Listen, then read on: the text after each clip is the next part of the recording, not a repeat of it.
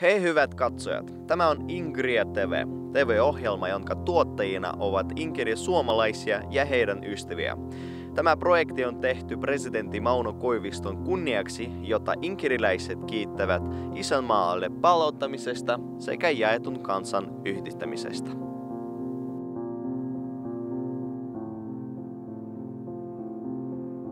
Nämä ovat suomalaisia, jotka Ruotsivallan toimesta aikanaan on sille alueelle siirretty. Esimerkiksi uskonnoltaan ne ovat hyvin vahvasti luterilaisia, eivätkä ortodokseja. Niin että se, heihin kyllä soveltuvat nämä takaisinmuuttajien kriteerit, vaikka nämä suvut ovat siellä varsin pitkään.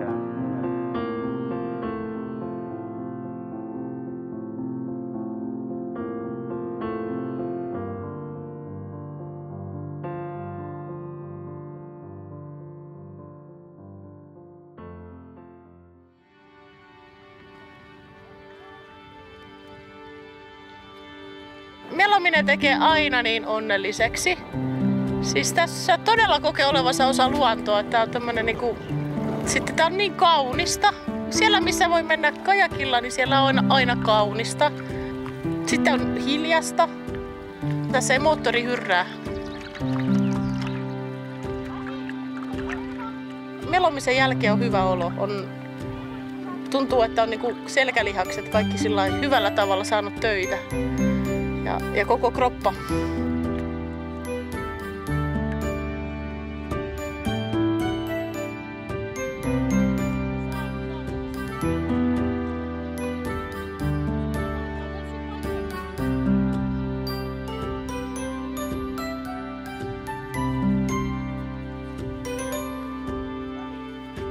Kuka teistä on ensimmäistä kertaa? No niin, ei hätää. Melan voi valita täältä. Melan pitää olla sen kokoinen, tämän kokoinen, että vähän menee sormet tänne päälle. Tämä on ehkä mulle, niin, semmoinen. Tämä voi olla vähän mulle pitkä.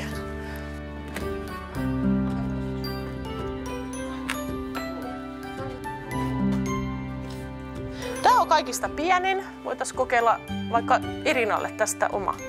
Tässä näyttää, että onpas kiva kantaa tästä, mutta tämä ei ole kantamista varten. Kajakki kannetaan täältä. Eli tämä, tämä on sitten, jos joku putoaa, niin tästä pitää se u, uimari pitää tästä kiinni.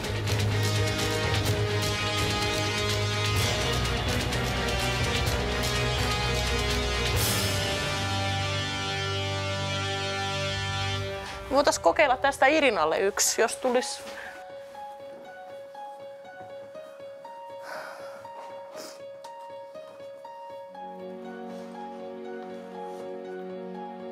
on sisässä jalkatuet ja sitten ne voi säätää sieltä itselle sopivaksi.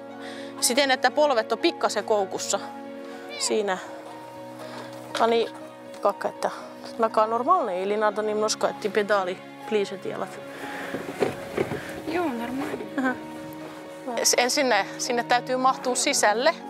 Ja kyllä se tuntuu mukavalta. Siis, et, et, joskus on pitkät jalat, se ei mahdu, mahdu sisälle.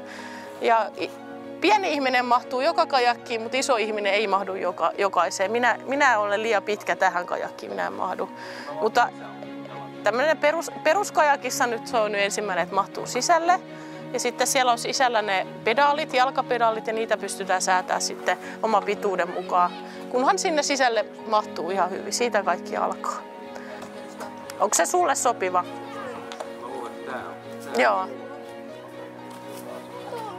Onko sulla, Irina, hyvin ne jalat? Нормально.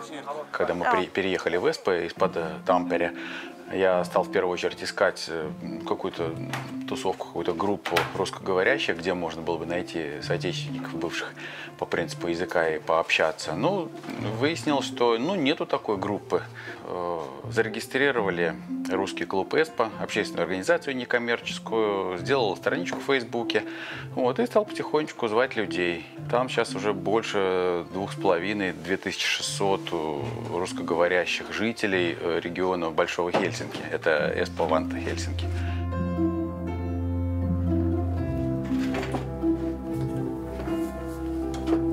Э, мы встречаемся на различных мероприятиях. Раз в месяц э, нам предоставляется помещение в церкви Лепповара в Эспо. Вот там собираемся, у нас дежурные встречи. То есть это цель э, объединение русскоговорящих, но это не создание какой-то маленькой России, а это наоборот открытие дверей именно в Финляндию, финскую культуру. То, что здесь много есть что взять хорошего, много есть что дать нам, но мы не можем этим заниматься, если у нас нет вот общей какой-то платформы. Вот это общая платформа, отдых. Церковь нам отлично в этом смысле помогает. Сейчас в данный момент мы находимся в одном из лагерных, из трех лагерных центров э, церкви. Это Хилан, Лери Кескус. Здесь есть отличная возможность э, пользоваться вот такими чудесными лодками, каяками. А так раз в году проводим здесь же э, походы на каяках на ближайший остров, на необитаемый. Отличное вообще время. И большинство из участников э, первый раз. То есть это первый э, опыт их вообще на каяках прокатиться.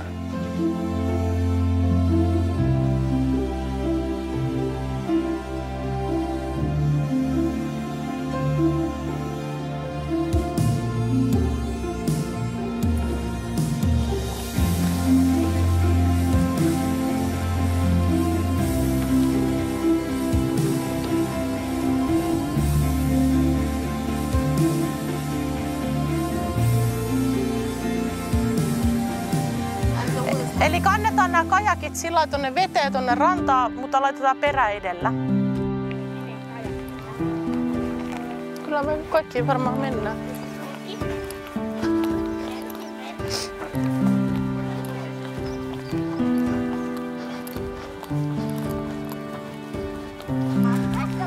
Joo. Laske, laske maahan, kannetaan yhdessä. Perä on tuonne peräpuoli. Siis eli... Are Kriska tam nu trist? Meillä on valittu tänne leirikeskusolosuhteisiin, missä on paljon aloittelijoita, tällaiset vakaat merikajakit, jotka niin kuin on siis vakaita, että, mutta niitähän on tosi semmoisia hyvin kapeita, jossa, jossa sitten ne on hyvin kiikkeriä. Eli siis tällaiseen, tällaiseen meri, merimelontaa tämmöisessä rauhallisissa merenlahdissa, niin niin sopii sitten nämä hyvin ja varsinkin aloittelijoille. Здесь у нас э, проводится э, инструктаж, тренинг на берегу, гребем веслами по песку, качаемся, идет объяснение, как себя вести на воде, как держаться в группе. Pelastusliivi on tietenkin ihan ensisijainen täällä. Voi kiristellä täältä itselleen sopiva kokoiseksi, ettei täällä hölläille. Ja sitten edestä myös, että se on, istuu tukevasti ja kun istuu kajakkiin, niin se ei nouse tänne korviin. Ja sitten jos sattuisi kaatua, niin silloin olisi mukava uida. Ota siitä aukkopeite vielä. Eli niin, että tämä lenkki tulee tähän eteen. Joo. Joo. Et pidotspit Joo. No niin, ja siellä kiristetään tästä aukkopeite sinne. Ja niin, että idea ettei sinne sitä vettä tosiaan sitten pääse. Se voisi laittaa tämän vähän nost, ot, ensin laittaa aukkopeite ja sitten pelastusliivi.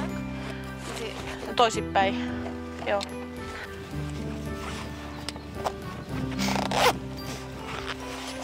Noin. Sitten meillä on, no niin, hyvin, hyvä kiristys sieltä, noin, juuri näin, täältä kanssa. Я считаю, это отличная возможность прикоснуться к э, именно финской такой бытовой э, культуре. Для финнов это нормально, это естественно. А вот для меня, например, как для человека из России, городского, плавать на каяках. Э, я только по телевизору раньше такое видел, что какие-то спортсмены, какие-то особые путешественники вот, умеют это делать. А теперь я сам этому учу, и я, я это могу оценить. Melomaan lähtiessäni niin tärkeintä on tarkistaa, että nämä, nämä kannet on kiinni. Nimittäin jos sattuu kaatumaan sisällä menee vettä, niin sitten on aika ikävää. Jokainen voi tarkistaa vielä sen oman, oman kajakkinsa aukot, että varmasti ne on kiinni. Вот, и сегодня в нашем походе, вот сколько у нас, э, двое ребят, э, финнов, участвуют с нами наряду. То есть у нас э, отсутствуют какие-то барьеры, потому что у нас есть одна цель. Мы живем в одной стране, мы занимаемся одним делом, для кого-то новым, для кого-то уже знакомым, но мы получаем большое удовольствие, потому что здесь отличная природа и хорошие возможности. No niin, ei, joo, melasta pidetään aina kiinni. Niin, mutta joo, se on hyvä sääntö. Ei saa melaa hukata. Pidä melasta kiinni. Joo. Ja sitten se, että ei mene yksi, se on toinen turvallisuusohje. Että ollaan, ei olla yksi melomassa. On kaverin kanssa. Niin. Ei parallaa.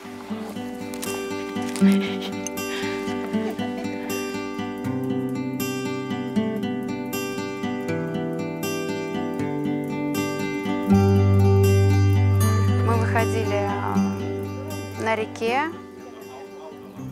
Но не так много я выходила, наверное, раз 10 на байдарках. А, что-то было типа такого, потому что я только начинала, мне было 13 лет. А, каяки чуть попроще, и время все-таки столько прошло, мне уже не так страшно, как было раньше, поскольку раньше было действительно страшно. На реке немножко, мне кажется, по-другому, особенно когда очень сильное течение, немножечко страшновато. А здесь мы вышли чисто для себя, для души.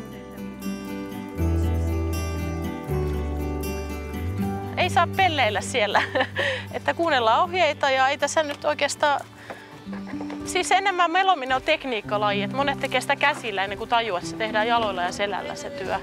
Se on niinku semmonen, mutta Ehkä nyt se, ettei tässä ne kurkottele veteen.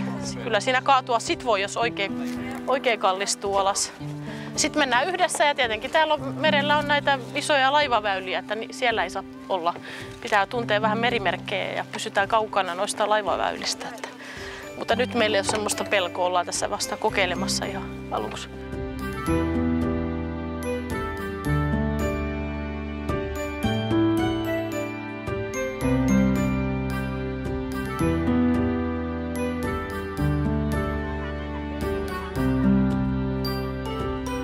Eli ota vähän isompi ote siihen. Tipepa nimnoska siireetta. Mosti tipek tuota kasalka koinada paras merusjätteet stuku. No jos ni, mis liskam karotki utipiätä. Kajakki on kyllä siis verraten ihan soutuveneeseen ja muuhun, niin siinä tuntee olevassa osa sitä vettä. Ja se menee upeasti ja hiljaisesti eteenpäin. Tyynellä ilmalla se on ihan niin kuin jossain sadussa ja, ja myös aallokossa se on jännittävää, kun se kajakki leikkaa niitä aaltoja. Että se on aina niin kuin tosi hienoa, to, tosi upeeta. No niin! Malatsi! Muista se, kato, ota. Tätä voi kokeilla näin. Попробуй. Положи и не делай руками ничего, а просто накой и спиной. Попробуй, как это идет. И делай такой большой полукруг такой именно. И, и просто накой толкай. То же самое. No mä luulen, että Suomessa aika paljon melontaa harrastetaan. Monella ei ole omaa, omaa tätä kajakkia, mutta on hyvin paljon paikkoja, mistä näitä voi vuokrata. Ja sitten on myös, sit jos haluaa oikein harrastaa, niin on näitä merimeloja ja eri, eri retkiyhdistyksiä ja melontayhdistyksiä, joissa pääsee ensin kokeilemaan, harjoittelemaan ja sitten voi kouluttautua vaikka melonna ohjaajaksi, jos haluaa. Mutta että, että tämä on semmoinen helppo laji, mihin voi tulla ihan mukaan, eikä ihan, ihan kokeilemaan. Tämän melomisenkin oppii melomalla, että kun pääsee usein kokeilemaan. Ja itse en omista kajakkia, mutta että kavereiden kanssa ollaan eri paikoista vuokrattu ja menty yhdessä melomaan ja se on aina niin ihanaa. Nyt ryhmä on kaukana ja menen otan heidät kiinni.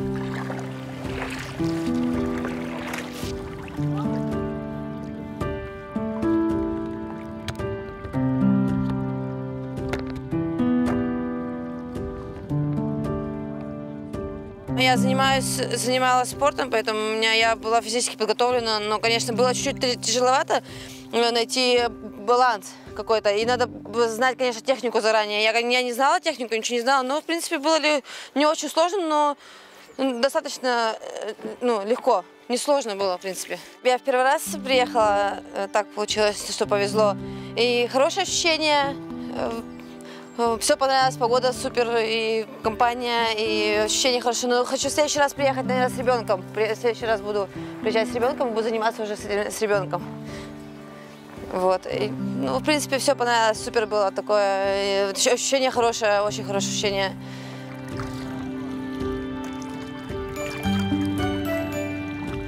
Иногда мои каяки все время в левую сторону. Это мне доставляло некие неудобства. А так это очень хорошее дело.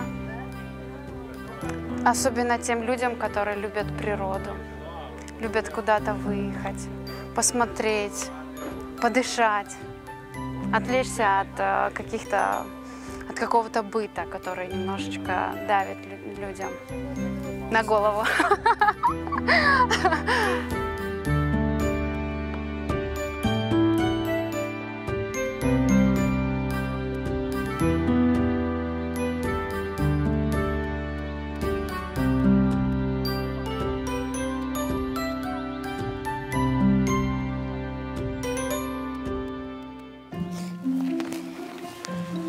siellä vaan, mä vedän sua vähän, niin tulla vedetään ne pedaalit sulle.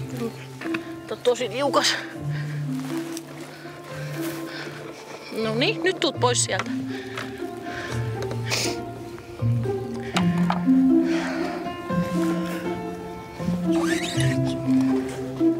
No siis kätevää omistaa sellaiset kengät, että ne voi kastella, että sieltä pääsee ylös. Ja ei sillä, sillä ei ole väliä, onko se jyrkkä vai matala ranta. Et kajakista, kajakkiin mennään myös sillä tavalla, että, että voi jyrkältä rannalta mennä. Se tehdään siten, että... Eli jos mä menisin jyrkästä rannasta veteen, niin mä laittaisin tän... Pysty, mä autan sua kohta. Jos mulla olisi... Täällä on syvä vesi, täällä on ranta, niin mä laitan tämän melan tähän. Ja pidän tästä kiinni ja työnnä jalat tänne. Näin. Ja menen näin kajakkiin, jos mä oon jyrkällä rannalla. Mutta jos on matala, niin sitten voi työntää ihan jalat veteen ja istua sinne. Mutta paras on, kun ei ole yksi. Se on, niinku se, se, on se asia, se on turvallisuus A ja O. Niin ei olla yksi. Onko nyt parempi? Nyt on hyvä.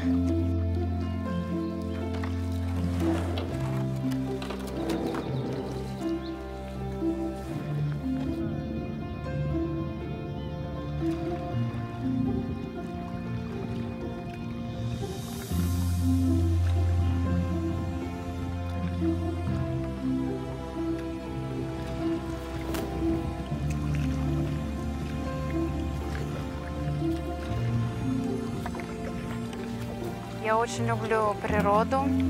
Я выезжала со своим папой в походы. Мой папа плавал, ходил на байдарках более на крутых реках. Я даже не представляю, каково это вообще ощущение, потому что для меня это очень страшно было. И я никак не могла сесть именно на более быстрые реки, на более сильные течения, когда вода прям пенится от э, скорости. Вот. Так что такого у меня опасного прям не было. А так я очень люблю, да, выходить на природу. Это, наверное, осталось с детства. Спасибо родителям за то, что они меня вытаскивали.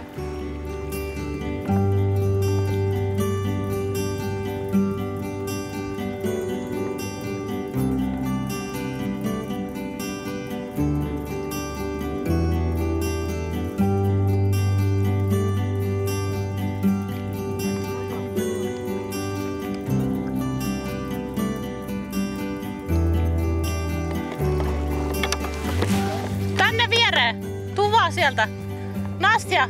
Nastja, sä pääset siihen väliin hyvin. Tuu tänne.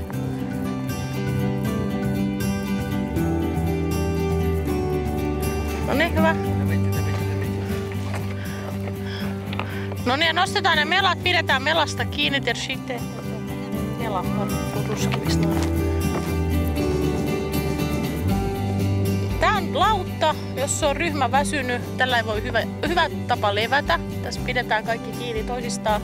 Ja on myös pitkällä me- tämmöisellä kajakkimatkalla, niin jos on jollakin tullut oikein pissahätä, niin periaatteessa tästä voi niin kuin nousta, ja kun kaikki pitää kiinni tästä, niin voi nousta seisomaan ja kävellä tässä päällä. Tämä ei kaadu. Eli kävellä. Ja oli, joku nainen oli pitkällä melontamatkalla ja oli iso aava järven vai merenselkä ja tuli kauhea pissähätä, niin sitten hän muutto piti silmät kiinni ja hän sitten seisoi tässä kahden kajakin päällä ja hoitu asiat. Älä li- juo liikaa. Mutta juoda pitää kyllä, joo. Juoda pitää. No niin, tää on ihan tämmönen hyvä. Tässä voi vähän levätä ja lauttaa tän nimi. Joo.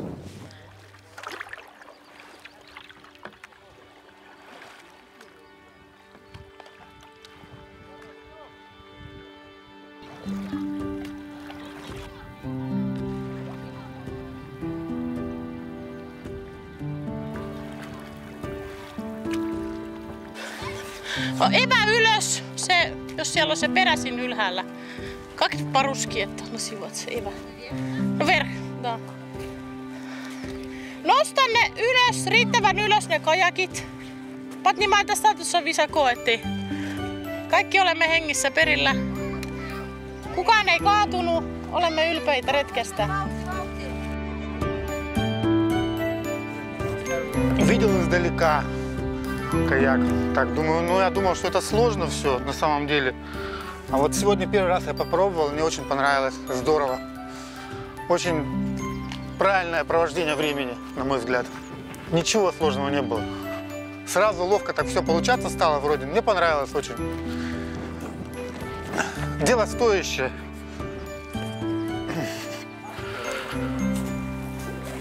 Бодрость, радость, удовлетворение. Все так подрослось хорошо. Солнечный день, хорошая компания. Но на, на такую дистанцию, которой мы плавали, это э, было недалеко, поэтому для длинной дистанции думаю, что надо чуть-чуть побольше подготовки, чтобы плавать далеко. Но в следующий раз все равно поплыву, наверное, но уже будем плавать, наверное, на длинной дистанции. Ощущения очень хорошие, впечатления отличные, самочувствие очень хорошее. Нет никакой усталости, наоборот, как-то больше прибавляет энергии. Может быть, меня не, не так уже прет энергия, но энергии прибавляет. Э, Особенно в компании. В компании никогда не страшно. Вот, одному было бы, наверное, страшновато, а но в компании очень даже ничего. Когда я вышла только в самые первые секунды, немножко себя чувствовала некомфортно, а потом вроде туда-сюда попривыкала, правой, левой рукой поработала, ногами поняла, что делать, и все, и, и в дорогу. В общем, очень здорово.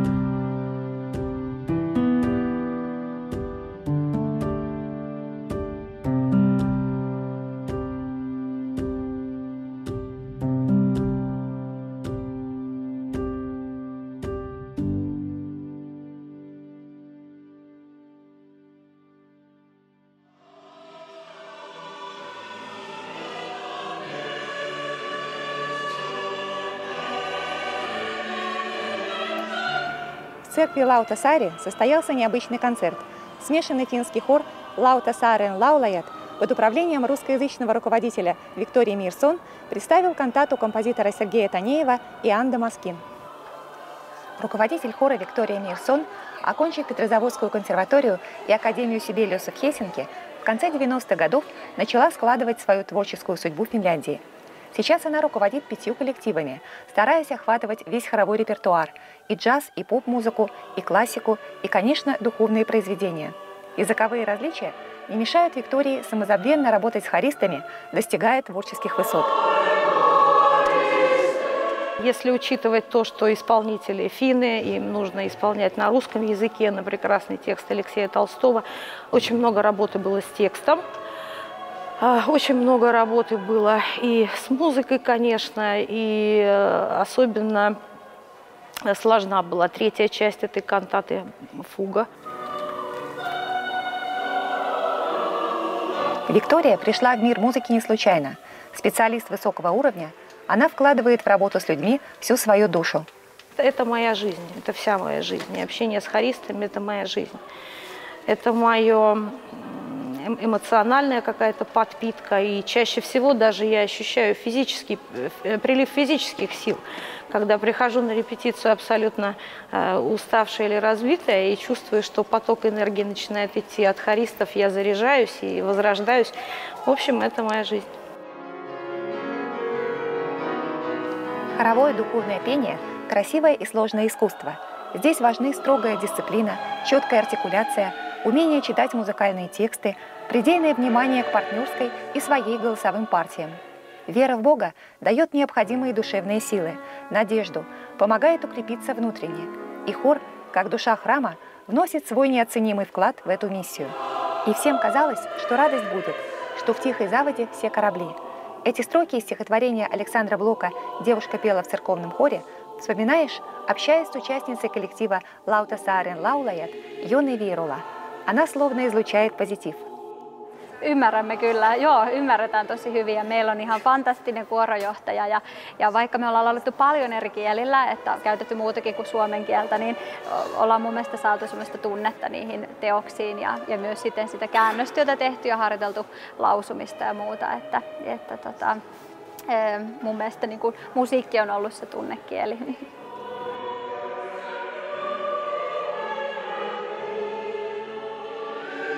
Прозвучавшая в концерте лирико-философская кантата Сергея Танеева «Иоанн Дамаскин» по праву носит смелое название «Русский реквием». В основу кантаты легла часть одноименной поэмы Алексея Константиновича Толстого. Отрывок, избранный Танеевым, представляет собой рассказ о размышлении святого Иоанна Дамаскина о жизни после жизни. «Иду в неведомый мне путь, иду меж страха и надежды». Здесь переплетаются три переживания – плач об уходе из этого мира, страх перед миром новым и надежда на прощение. Участник хора Лаута Саарен Laulajat Ari Looma высокого мнения о кантате Иоанн Дамаскин.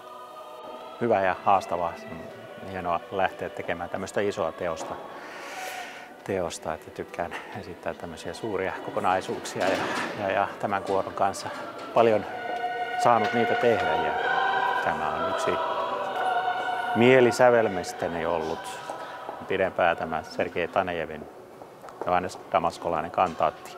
Joskus olen sitä suomenkielistä versiota ollut mukana laulamassa muutama vuosi sitten. На выступление хора Лаута Сарен Лаулаят приходят друзья и родственники хористов. А это очень разные люди. Кто-то из них может увлекаться роком, кто-то джазом. Но тем не менее, создается впечатление, что на хоровых концертах они получают удовольствие –